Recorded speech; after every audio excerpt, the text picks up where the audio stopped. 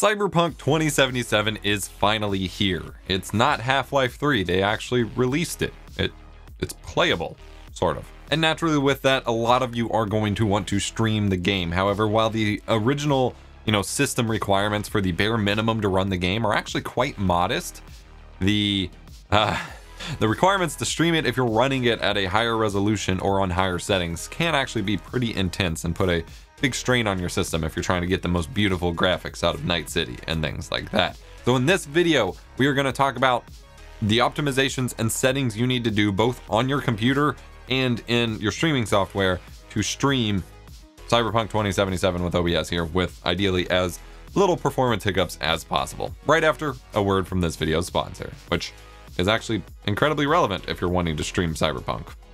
This video was brought to you by Nerd or Die and their new Glitch 2 Cyberpunk 2077 themed stream package, which features overlays, alerts, be right back and stream starting soon scenes, a whole chat box theme, and stinger transitions, along with other elements specifically designed for the Cyberpunk 2077 game's theme. Now, this is actually available as a free update if you already owned the Glitch 2 package. This is something that Nerd or Die does regularly when they add updates or you know, new features to packages you've already bought, you don't have to pay for them again. You just get that as a freebie. So if you already owned Glitch 2, then you can get the cool new webcam frames and the social media icons and all the new theming for free. Otherwise, pick it up for yourself. It is Glitch 2 with the Cyberpunk 2077 edition theme, available at eposvox.gg slash nerd or die.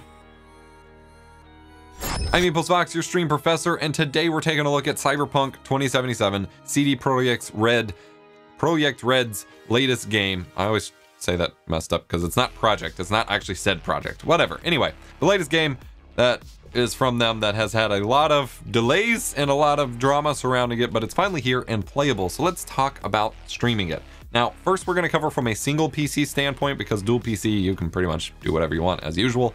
Uh, but we will, we will be talking about dual PC as well. So for single PC setups, first you need to actually prepare your system with various Windows and driver settings for that. Now, if you're using an NVIDIA graphics card, at least there will be a game ready driver the day before Cyberpunk's launch. Uh, so if you didn't have that already, or you don't have that, check it out, download it. Uh, it'll be on December 9th, which this video should already be up by. Uh, go ahead and download that latest game ready driver from NVIDIA. AMD should theoretically have one as well, but I never know with AMD's drivers. On the Windows side of things, there's a couple things you want to look for. First and foremost, you want to be on the latest Windows 2004 update to Windows 10. So if you aren't, go to start and check updates. And if you are unsure, you can go ahead and check for updates and just, it should pop up if you don't already have it. Upgrade to Windows 2004, latest build or whatever, and update that because there are some toggles that we're going to want to mess with that are specific to that Windows build. Next up, you want to turn on Windows Game Mode. Now, in previous years, up to a couple years ago, I've always said to turn it off because it interfered with OBS. Because what Game Mode does is it prioritizes your game above most other things so that it gets the best performance and that background processes and things like that don't eat up your, you know, performance and make you drop frames. However, uh, as of a year or two ago, they have finally added OBS into the whitelist for that, which allows game mode to also prioritize OBS and help OBS and your game communicate to each other more effectively. So you want to make sure that is turned on. And then of course, turn off the game DVR and the Windows game bar if you're planning on using OBS here, which is what we're mainly focusing on. Next up, we have two settings that you will want to do in either or for, and you will want to test, test, and more test to see which works best for you. There is a new feature in Windows 10 2004 called Hardware Accelerated GPU Scheduling. This allows your graphics card to more effectively kind of juggle everything that's going on and theoretically should benefit stream performance. However, when it was first released for most of this year so far, it actually hurt OBS performance a lot. And generally the recommendation was to turn it off, leave OBS on admin and move forward. However, there is a fix in the latest NVIDIA drivers as well as um, the latest Windows updates that should actually allow it to prioritize your game.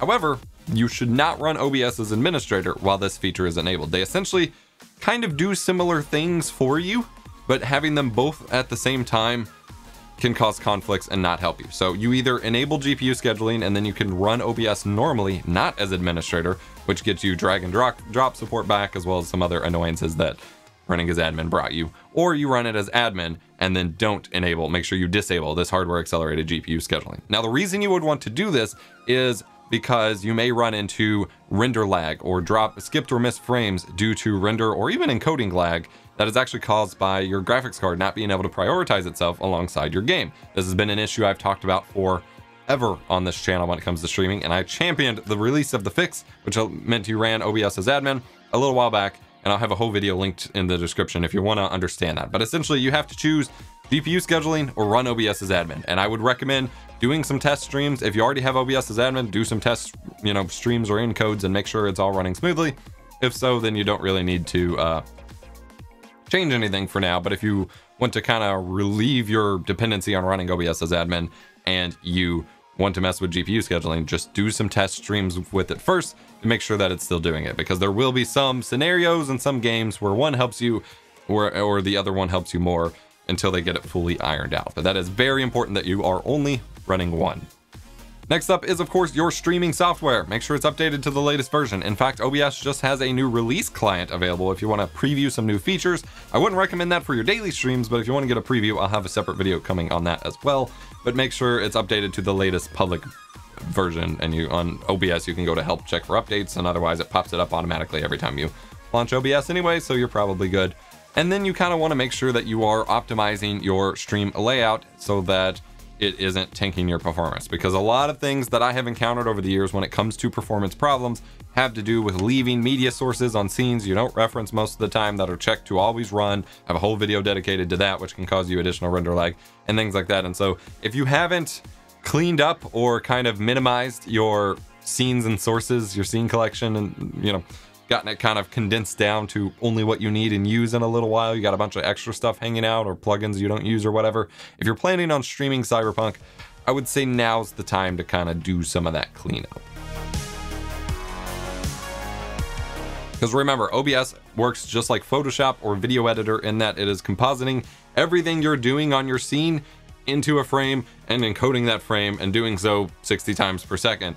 And so that is a lot of extra load on your graphics card and the less you have going on the easier a time you will have. And so if there's a bunch of extra sources that are not you know running amok that you're not actually using or extra scenes that are still sort of active even though they're not what's showing you want to get rid of some of that stuff all right when it comes to obs and sort of xsplit as well turn off your previews if you're worried about render lag or dropped frames or extra impact on your game performance as well turn off your render previews once you are certain you've done your test streams and everything looks good right click OBS's preview, uncheck enable preview, and that will save you a little bit of processing power as well. If you're having some frame rate inconsistencies when it comes to using game capture or display capture for capturing your game, of course, game capture is more recommended. It's way better performing and yada yada. Uh, you can actually run it in borderless window mode to get a more stable frame rate. You just may lose out on some of the advantages of G-Sync and things like that. If you're still running into GPU overload issues when it comes to uh, streaming and you know your graphics card just is being used too much you'll have to lower your in-game settings or set a frame rate cap of say 60 fps whatever you're streaming at so that it stays more stable and OBS or your streaming software has more kind of overhead to operate but also keep in mind you have to be reaching your target frame rate in order to stream it and so for example if you're getting 50 to 60 fps you're going to have a real hard time streaming 60 fps because those frames aren't there to begin with most, most of the time and your GPU, your graphics card is getting so overworked that it can't even keep up with that frame rate, nevertheless streaming on top of that. So that is worth keeping in mind as well, always kind of target based on what you can actually reach and you do want some degree of headroom so if you're trying to stream 60 fps you need to be getting an average of at least 70 fps in game that way you have the room for that frame drop when you are running obs to get the best out of it if you're using NVENC nvidia's graphics card encoder for your video encoding stream which I talk about all the time. Uh, you may want to turn off look ahead and set B frames to three if you're running into uh, performance issues with the encoder. If you're getting encoder overloaded or having some weird issues with that, I might change those settings as well. Lastly, for single PC streaming of Cyberpunk, I wanted to talk about NVIDIA Broadcast, their virtual green screen software as well as noise removal stuff I've been talking about this year. The microphone stuff is fairly easy to run, like it does add extra load to your graphics card, but it's fairly easy to run alongside your game in general, so that's fine. The camera side of things, however, is very intense and it can use up even like one gigabyte of VRAM on your graphics card, which is a lot, especially for those of you with the lower VRAM uh, model graphics card. So if you only have four gigs or six gigs of video memory on your graphics card versus 10, 11, 12, you know, those kind, you're gonna run into some trouble there. So I would actually recommend just not using NVIDIA broadcast camera at all in this scenario. Use the Nerd or Die, you know, webcam frame that we showed in the ad spot and just set up a nice backdrop or something instead of using broadcast camera because it can use a lot of VRAM and Cyberpunk is gonna use a lot of VRAM, especially if you're cranking up the settings.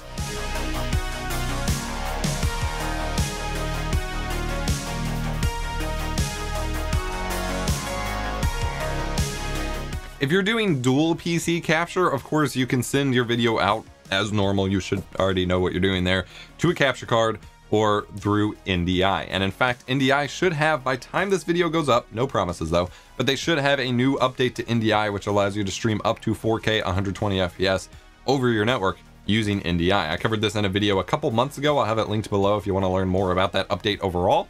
Uh, but that is pretty sweet. So you have two options really to get your video from one PC to the other. You do have a third option um, when it comes to using your capture card that would allow you to maintain G-Sync support and potentially get a smoother frame rate that is, you know, more cooperative with lower end capture cards in that you plug your graphics card into your capture card just for like you would do cloning, but set up an extended desktop instead, and then use OBS's full screen preview to send that preview over your capture card in smooth 60 FPS to your streaming PC. And then you add in your webcam and all of your scenes and things like that on your streaming PC side. So your, your gaming side is doing less work. However, keep in mind, that does still require OBS to maintain its frame rate on your gaming PC. So you'll still need to use either the GPU scheduling or running OBS as admin. You'll still, you know, need to be reasonable with your settings there, but that is an option available to you. And then you can run ham like you normally do with your encode settings and everything else because you're not gaming on that computer. So it doesn't really matter. Lastly, make sure you switch to streamer mode before starting streaming to avoid some DMCA strikes because Twitch is wild these days.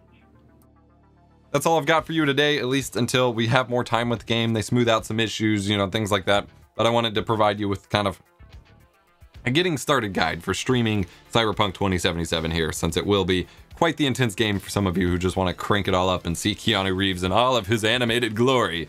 And you might run into some issues there. And as you can tell, I'm still in the middle of moving. I'm finally pulling games off of shelves where it's it's taken way longer than expected. So my video upload schedule is kind of lax, but let you let me know in the comments if you want to see me do more content like this for specific games. And I can even get you know, individual social posts up with just kind of some of the recommended settings and things like that as well. Hit the like button if you enjoyed. Subscribe for more tech education and stream guides. I'm your stream professor, Epos Vox.